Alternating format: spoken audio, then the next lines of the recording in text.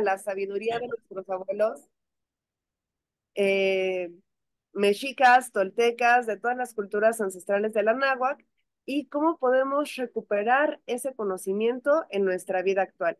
Y pues para ello tenemos hoy a una invitada que queremos muchísimo, una gran abuela de conocimiento que nos va a platicar de un tema muy interesante. Ella es la abuela Mishkoat Terruelas, que nos va a platicar acerca de la danza de la luna que en este año va a tener su segunda edición y que realmente es algo maravilloso. ¿Cómo estás, abuela Mishkoat? Hola, ¿qué tal, Linel? Muy buenas tardes. Siempre es un gusto poder estar contigo y, y pues estar en comunicación con todas las personas que están interesadas en el conocimiento. Es un honor para mí estar hoy en tu programa de Serpiente Emplumada.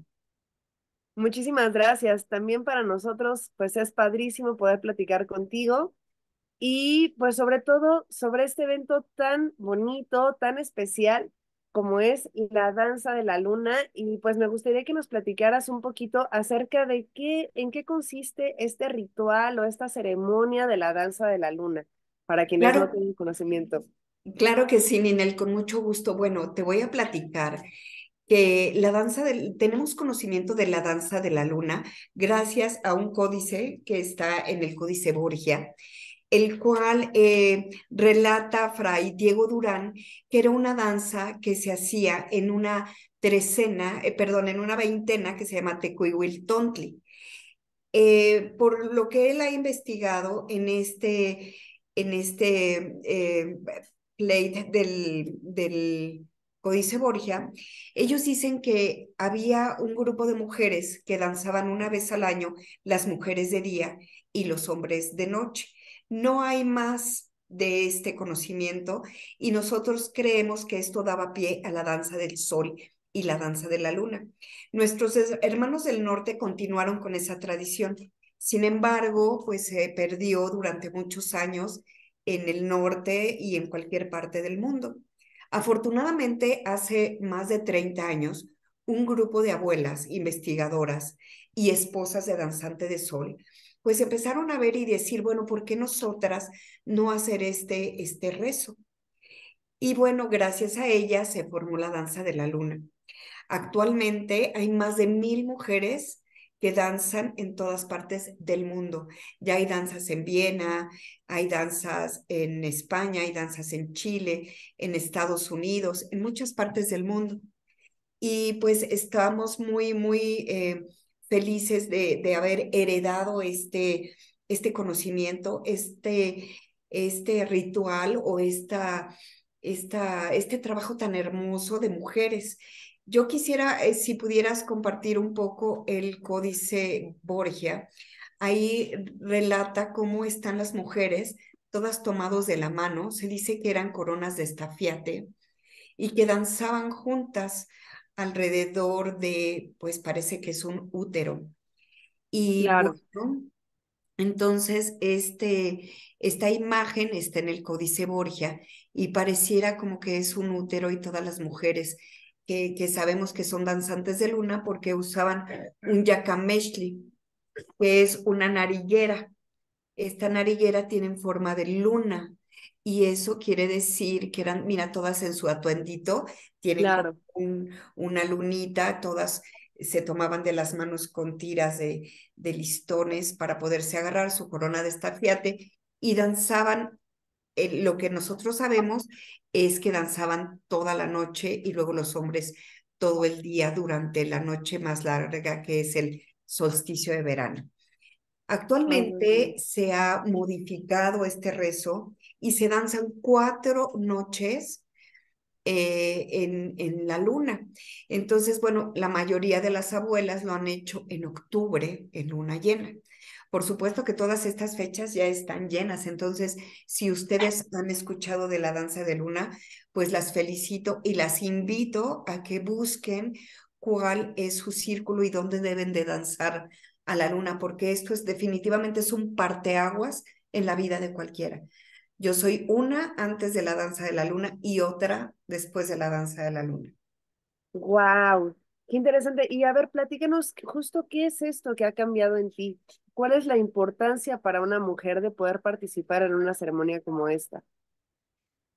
Bueno, hay muchos testimonios de, de, de, muchas mujeres que les ha cambiado la vida totalmente, sobre todo el, el valorarla, el percibirla, el percibirla eh, de forma distinta, ¿no? Es un trabajo muy fuerte en el cual eh, no, es, no es un retiro, definitivamente, no es, eh, no es una iniciación como tal.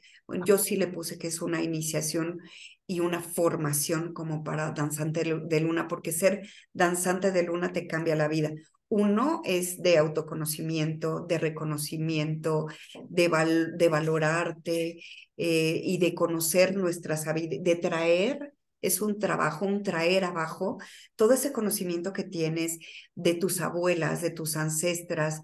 Bueno, se trabaja biodescodificación, se trabaja eh, todo el conocimiento ancestral, la sabiduría de nuestras abuelas, toda la medicina, todos los rumbos, todo ese conocimiento aunado a todo este descubrimiento que, que hoy se ha hecho de, de todo lo que es la neurociencia, toda la que es la matemática sagrada, porque todo este círculo, toda esta danza se forman y se hacen figuras en un círculo donde es una geometría sagrada.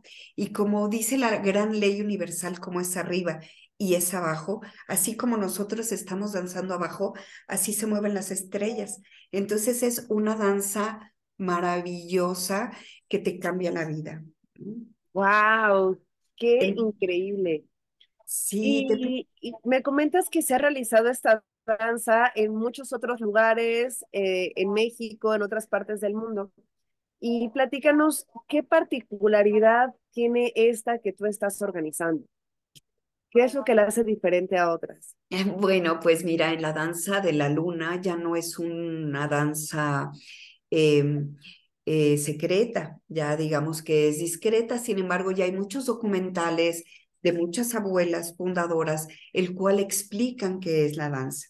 Obviamente tiene sus eh, particularidades, no se pueden tomar fotos, no se puede, digamos, eh, publicar mucho ese trabajo. Sin embargo, ya podemos saber qué es lo que se hace y te voy a platicar. Eh, se entra a un espacio en el cual se solicita ir eh, sin, sin celular, dejar atrás todo esto, ¿no? ¿Qué es lo que hace?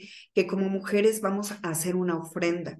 ¿Qué vamos a ofrendar en estos tiempos? Vamos a ofrendar pedir permiso en nuestro trabajo, vamos a ofrendar eh, dejar nuestra familia, vamos a ofrendar dejar nuestras redes sociales, dejar amigos, darnos ese tiempo y espacio para estar cuatro noches en un lugar donde eh, vamos a poder estar seguras. A diferencia de otras danzas, eh, yo les quiero compartir que es en un lugar eh, cerrado. Únicamente vamos a estar las danzantes y nuestros apoyos y nuestros invitados. Es un lugar súper seguro que se llama Geodarte. Es una, una hacienda muy hermosa que está eh, en Río Frío, Puebla. Y bueno, ¿qué se hace? Se llega y, y se, se pide que lleven falda y que lleven un atuendo porque en ese momento todas nos convertimos en una, no hay diferencia. No hay diferencia si eres profesionista, ama de casa, eh, si eres abuela, mamá, mamá soltera, divorciada. Ahí no hay eh, diferencias. Son bienvenidos eh, cualquier, eh, incluso cualquier em, religión que tú tengas o cualquier corriente espiritual. Sin embargo, ahí lo que pedimos es solamente vamos a saber y conocer de nuestros ancestros anahuacas. Claro, me disculpo por el ruido que ahorita, bueno, pues estamos transmitiendo en vivo, pero también están viendo aquí las personas este atuendo. Eh, tú no lo estás viendo ahorita en el Zoom, pero justo en YouTube estamos compartiendo los atuendos de las, de las mujeres, que es este atuendo blanco con azul. Lo voy a poner también aquí en, en el Zoom para que lo puedas ver y que nos platiques qué es lo que representa o por qué tenemos este, este atuendo que nos parece muy, muy interesante. ¿Qué es lo que significa? Pues mira, Ninel, para nosotros obviamente es la importancia de la falda, que es usar y retomar este, este uso y costumbre de usar las faldas. Eh, este atuendo es generalmente el que se usa en todas las danzas de la luna. Lo que diferencia unos a otros es el glifo de en medio. Eh, hay mucha historia con respecto a qué simboliza ese atuendo. Ah, esa foto, qué lindo. este atuendo simboliza lo blanco, la pureza, la luna, o se dice también que muchas mujeres eh, iban a hacer un rezo a, justo a Iztacalco, estas mujeres que iban al Iztac vestidas de blanco. y bueno, la, eh, la, luna y también la línea eh, azul que simboliza el cielo y simboliza también el agua. Nuestros hermanos del norte em, dicen que no estamos en el universo, estamos en el aguaverso, que todo está em, compuesto por agua y justo es eh, lo que nosotros trabajamos, ¿no? La filosofía del agua. Y como sabes, la luna rige directamente en nuestras aguas, en las mareas y obviamente en nuestras aguas. Es por eso que este traje en general para todas las danzas de luna es así. Eh, es amplio porque es en la noche, llevamos mucha ropa adentro para poder pasar el frío. Eh, llevamos, y el keshkemet, que es este como triangulito, que es el que usaban nuestras ancestras. Entonces, lo que diferencia es el glifo. Yo te quiero comentar un poco del glifo y el nombre de esta danza que se llama Olin Yolomestli. El Olin Yolomestli quiere decir el movimiento amoroso del corazón de la luna, porque nosotros hemos estado investigando y estudiando todo lo que es el movimiento de la, de la luna, no solamente en cuanto a sus mitos, sino de forma científica. Y bueno, este glifo es la luna eh, y dentro viene el útero, el útero sagrado, vienen las estrellas, que son esas bolitas, y dentro viene un útero florido que está eh, coronado por todas las fases de la luna. Esto eh, para nosotros simboliza que si las mujeres somos capaces de co-crear vida dentro de nuestro útero, también somos capaces de co-crear cualquier proyecto si estamos en sintonía con, con lo bueno, con lo maravilloso del universo y si lo hacemos en conciencia y en esencia. ¡Wow! ¡Qué hermoso! ¡Qué poderoso mensaje! Sí, así es. Y bueno, ahora sí, platícanos por favor en qué fecha se va a llevar a cabo. Bueno, mira, te platico que eh, todas las danzas se hacen, eh, la mayoría se hacen como en octubre y como ya estamos saturados afortunadamente de tantas danzas, Eso es cierto. pues eh, nuestro grupo de, de nuestro consejo decidimos hacerlo del 14 al 18 de marzo del 14 al 18 de marzo y en luna nueva. Esto es un parteaguas en las danzas de luna y te voy a explicar por qué. Mira, afortunadamente tenemos un consejo maravilloso de hombres eh, de mucho conocimiento y, de, que están en el camino. Por ejemplo, te voy a platicar un poco que, que primeramente, pues, eh, nos sentimos muy afortunados porque estamos trabajando en familia. Y, bueno, afortunadamente estamos trabajando en dualidad y estoy muy bendecida y agradecida porque uno de nuestros principales asesores y nuestra primera palabra de hombres es el abuelo Miguel Romero Vargas, que es eh, el abuelo Istlocelot. Él directamente nos asesora y nos apoya en cuanto a fechas y congruencia en cuanto a fechas y congruencia de hacer las cosas sin perder nuestra base, sin perder nuestras raíces, simplemente añadiendo un poco y fluyendo con las necesidades que tenemos en la actualidad. Otros de nuestros apoyos y bueno, mi asesor, eh, mis asesoras, obviamente son mis hijas y mis nietos. Ellos constantemente nos, nos apoyan a, a recordarnos cómo ser abuelos, ¿no? Como ser unos abuelos conscientes.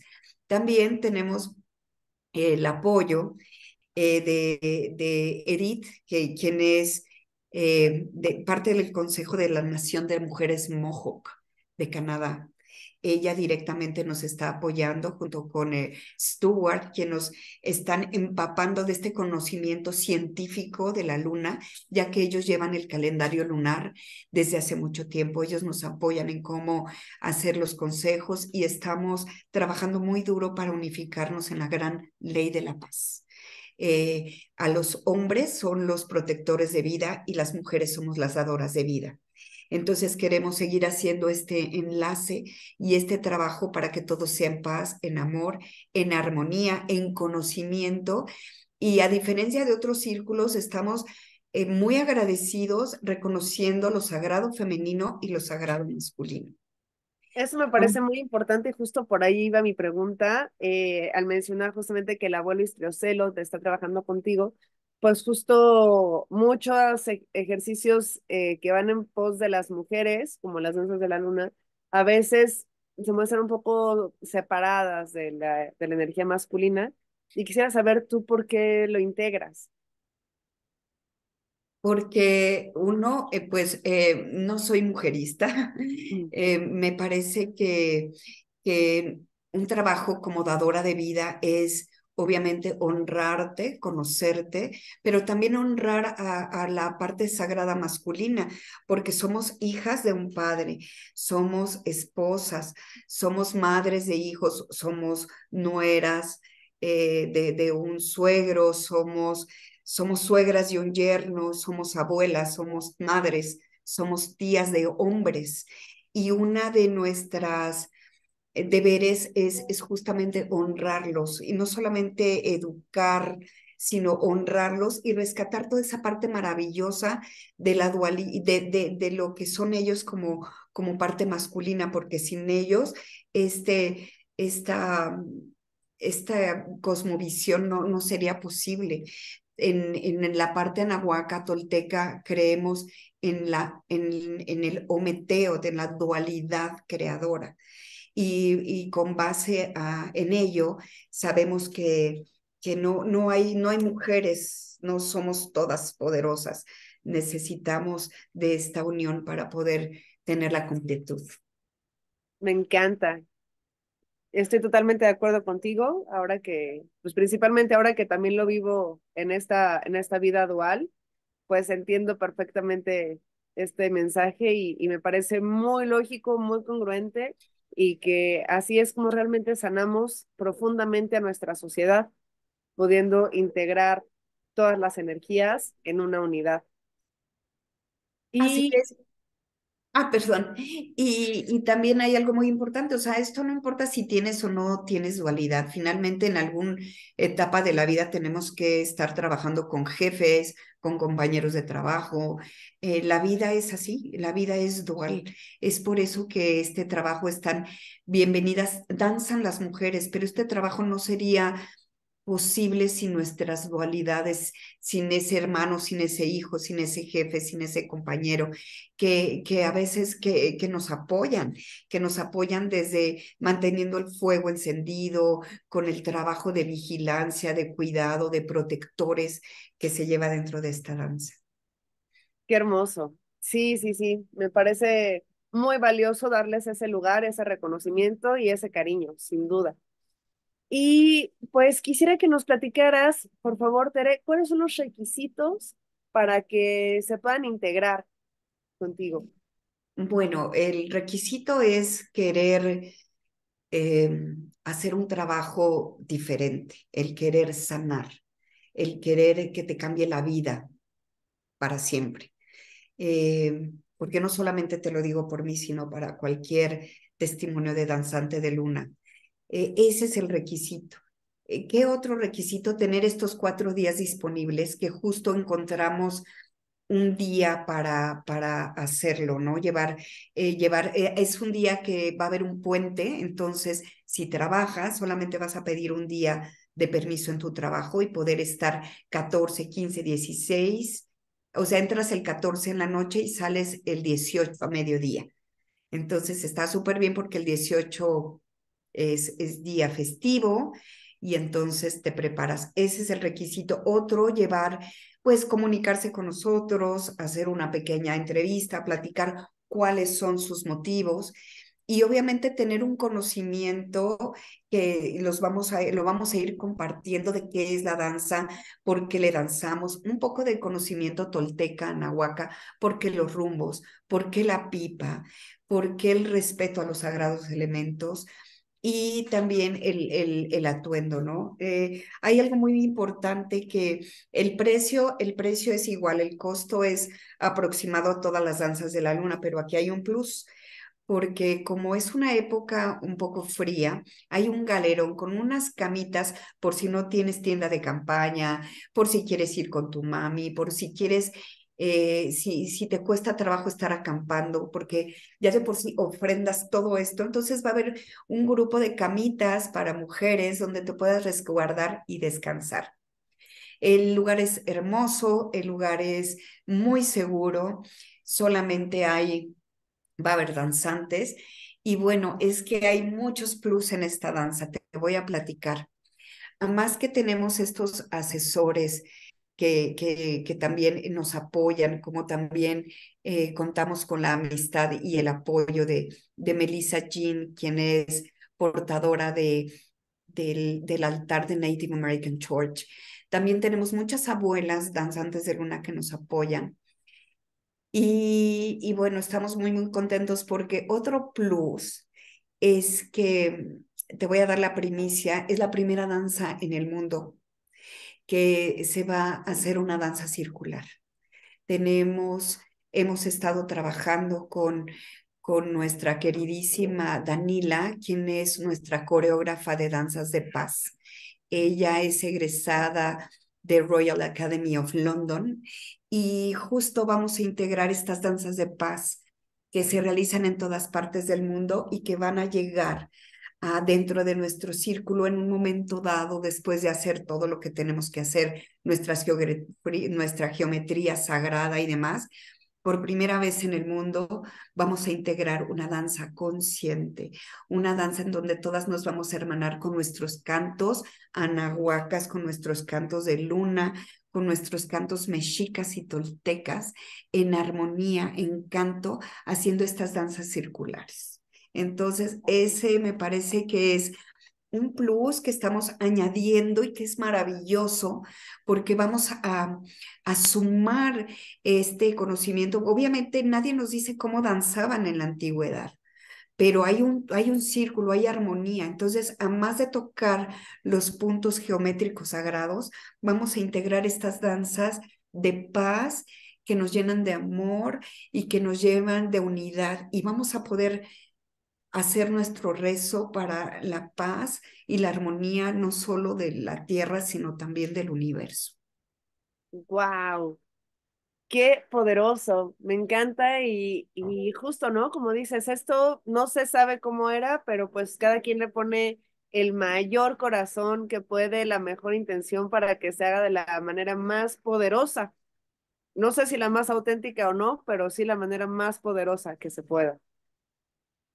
Así es, el, el llamado aquí está, no, no, no queremos, eh, los queremos invitar, las queremos invitar, de verdad, a que vivan esta experiencia, eh, que aprendan a hacer sus rezos, porque justo ahora quiero comentarte está todo esto de la manifestación y manifestación consciente y demás.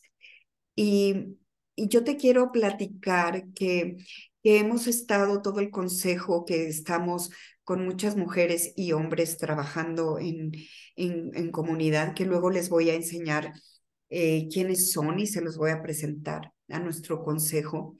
Hemos estado platicando, fíjate que en diciembre te has dado cuenta que todo mundo hace sus 12 deseos y sus metas y luego al final del día ya, ya no hiciste nada de tus propósitos. ¿Por qué? ¿Por qué no se hacen? ¿Sabes por qué? Te platico que no es el momento. La Tierra, el universo, está en una época de invierno que nos invita a la introspección, a la recapitulación, sí al cierre de ciclos con agradecimiento, pero sabes que él no es el momento de pedir. ¿Cómo vas a pedir en un momento donde estás nada más haciendo una recapitulación de qué es lo que pasó en este año, de, de todos tus aprendizajes? No es el momento.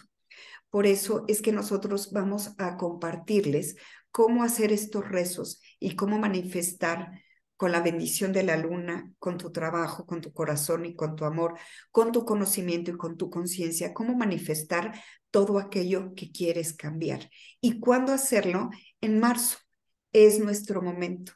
¿Por qué? Porque inicia el año, la nieve empieza, el frío empieza a ceder, empieza, es un súper momento de, de, de poder eh, todavía sembrar esa semilla y con toda la magia y con toda la ciencia de la luna, que en marzo, en primavera, florezca y así puedas tener flores, frutos, pero así, de verdad. Hay un dicho que me encanta que dice, en el lago del ombligo de la luna siempre hay una respuesta. Solo hay que saber cuál es la pregunta correcta. ¡Wow! ¡Qué profundo! Me encanta. Sí, es cierto. A veces ese es el problema, ¿no? No sabemos ni siquiera plantearnos las preguntas. Total. Así es. Y si lo haces con conciencia, con conocimiento, entonces ya se vuelve algo que estás trabajando con, con todos tus sentidos en esencia y en presencia. Wow, qué hermoso, abuelita Mishkwat. Pues, eh, por favor, compártenos a través de qué medios se pueden poner en contacto contigo. Claro que sí. Bueno, estamos en Instagram en ceremonias ancestrales.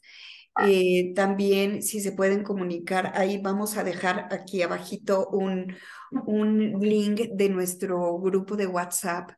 Eh, también los quiero invitar a que cada jueves se unan. Tenemos nuestra palabra de cantos, quien es eh, una mujer medicina de Monterrey que se llama Ilhuicasihuat, Griselda Jurado. Ella cada ocho días sin tema, está compartiendo cantos y cantos y cantos y cantos para que te vayas adentrando a la danza. Entonces tenemos estos jueves que son a las, eh, todos los jueves a las 9.30 de la noche para compartir cantos. Pero este jueves, este jueves a las 8, tenemos una sesión informativa también para dar a conocer todos los pormenores de la danza de la luna. También quiero invitarlos al 21 de, de este mes, justo que somos invitados y recibidos muy amablemente por la puerta de Quetzalcoatl, porque vamos a compartirles cómo hacer estos rezos para la danza de la luna.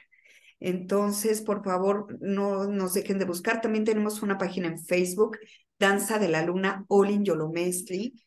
Y, y, bueno, estamos ahí implementando algunos TikToks. Eh, tenemos que adaptarnos a la modernidad. Y te voy a dejar un número también para que nos pregunten de, de, de todo esto, ¿no? Todo, todas las dudas que tengan, todas son bienvenidas, bien recibidas y bien recibidos, porque los hombres, las dualidades para nosotros son parte fundamental en la danza del alma. Claro, y también pueden participar, ¿no? También como apoyo, como águilas de fuego, entonces Ahora sí que hombres y mujeres pueden apuntarse. Así es, y la medicina se expande, porque lo que es adentro del círculo se expande hacia afuera, y los que están afuera del círculo también, toda su energía, todo su amor se integra al de nosotros y hace este, este núcleo sagrado, esta dualidad. ¡Wow! Hermoso. Muy bien, pues, este, ¿quieres compartirnos el número por aquí? Sí, claro, es 5581716697. Y, Perfecto. Y, bueno, eh, les quisiera compartir, tengo más adelante un, un, grupo del consejo eh, que, que, nos apoya y que estamos muy agradecidos con, con su apoyo, así como el, el tuyo también, el de tu dualidad y el de serpiente emplumada. Muchísimas gracias. Pues Tlazo Kamati, abuelita Mishkoat, también el abuelo Istiocelot, que está por ahí también apoyando. Es un gran gusto poder colaborar con esta misión tan hermosa, tan grande, este compromiso que, que estás asumiendo de, de transmitir el conocimiento. Y pues esperemos que muchas hermanitas se integren, se unan a este rezo en movimiento, a este rezo cósmico por nuestra sanación personal y la sanación colectiva. Así es. Eh, la invitación está del 14 al 18 de marzo en el rancho Gavillero, que está por Río Frío, Puebla. y que les invito a que se inscriban y que participen para que vayan preparando su atuendo, sus rezos y más. ¿Saben por qué? Porque aquí no buscamos mucha gente, es, es un grupo cerrado, el lugar es, es pequeño y queremos contar, si el llamado es para ti, seguro estarás con nosotros. Claro que sí, estoy totalmente de acuerdo con esto. Estoy poniendo aquí el, el póster de la invitación y también este que también integra ya un poquito más de la información con el número de depósito y todo para que las personas que nos están viendo puedan tener todos los datos. Y pues están todas y todos invitadísimos. Muchísimas gracias, Abuela Mishkoat, por, por compartirnos. Y pues estamos en comunicación contigo. Muchas gracias y pues muchas bendiciones en este proceso y en este inicio de año. Muchísimas gracias en nombre de todo el consejo de Olin Yolomestli, pues estamos muy agradecidos. Hasta siempre. Hasta siempre, Tlazo Kamati. Tlazo Kamati. Ometeo. Ometeo.